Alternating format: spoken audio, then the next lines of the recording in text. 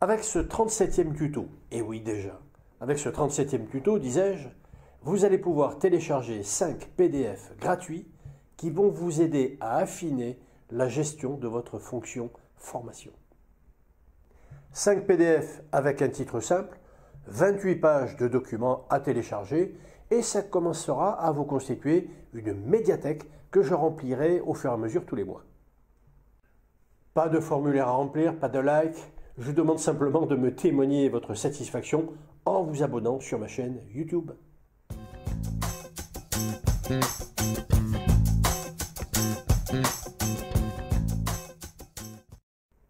Et nous commençons avec un premier PDF que vous pouvez télécharger.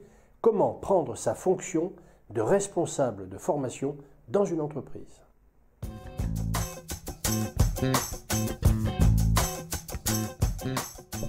Ce PDF vous guidera pour savoir qui rencontrer l'urgence, comment s'imprégner de la culture, quelles sont les informations essentielles à glaner?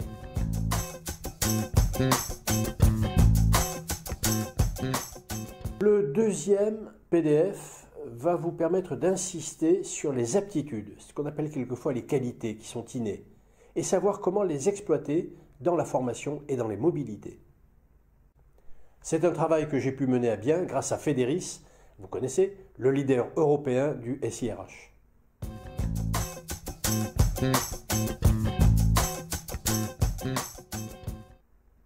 Ce troisième PDF va vous amener vers une liste de 37 modalités de formation alternatives aux stages présentiels.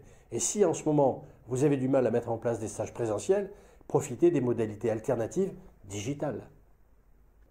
Et vous avez également un top 10 de la meilleure modalité à choisir en fonction de la problématique à résoudre par la formation.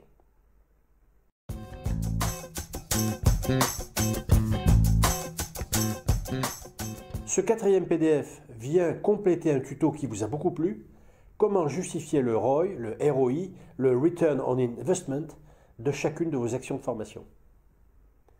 Montrer le ROI des actions de formation, c'est une façon de démontrer à votre comité de direction et à votre direction financière que vous savez comment investir dans la formation.